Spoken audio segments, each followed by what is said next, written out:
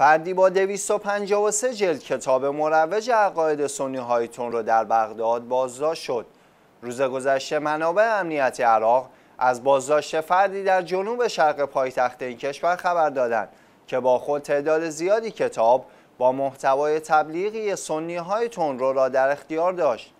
به گزارش شیوز به نقل از سومری نیوز این شخص که نامش فاش نشده در منطقه پل قدیم دیالی در بغداد دستگیر شد در حالی که در خودروی خود 253 کتاب با محتوای تبلیغاتی اندیشه های تکفیری سنی های تونروی داعش وجود داشت.